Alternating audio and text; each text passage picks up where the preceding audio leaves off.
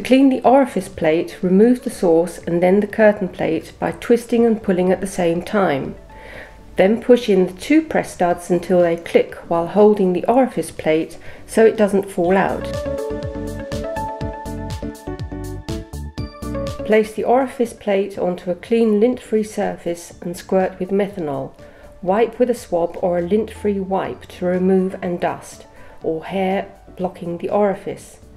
Then squirt methanol through the orifice to make sure that all dirt has been removed and either dry with nitrogen or leave to dry.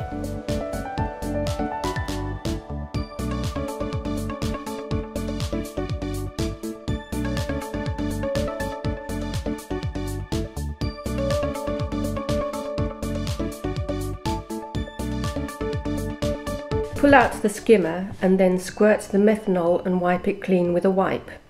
There is rarely anything on the skimmer that cannot be removed by this method dry in nitrogen or air.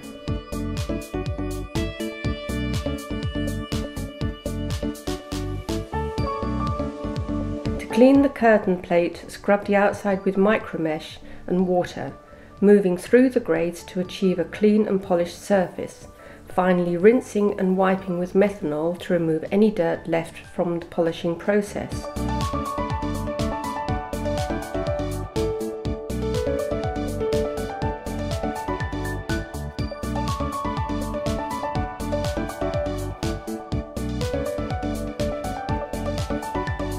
To reassemble, first replace the skimmer by inserting the O-ring first and twist until it pushes in all the way.